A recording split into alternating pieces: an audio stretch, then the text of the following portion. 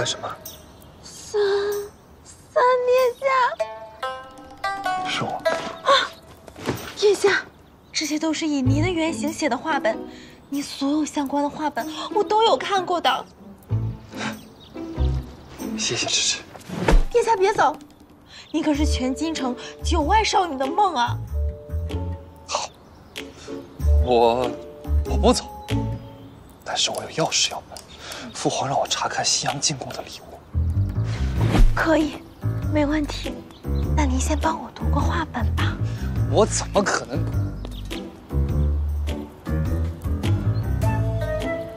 好。殿下，就先读这本吧。这名字一看就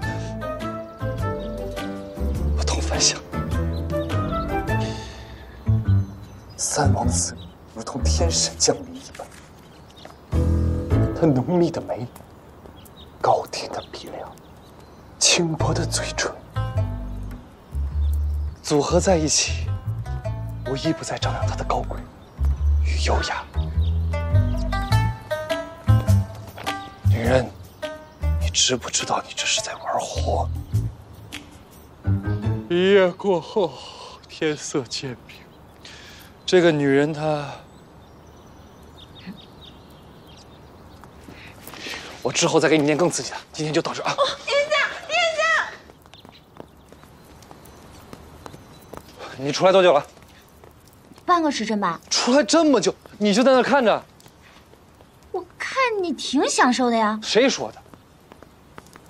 算了，查到凶手了吗？看你这表情，不像有所收获的样子。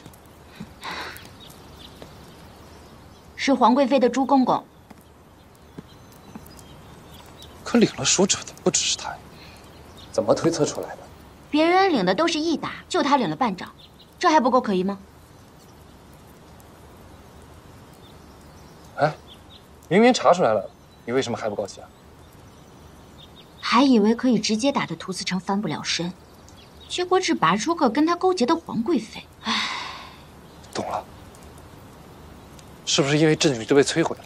只要他抵死不承认，我们就没有办法指证他。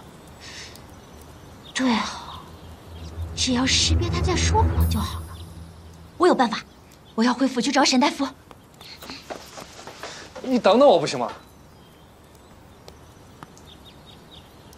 我好像忘了什么，忘了什么呢？哎，算了。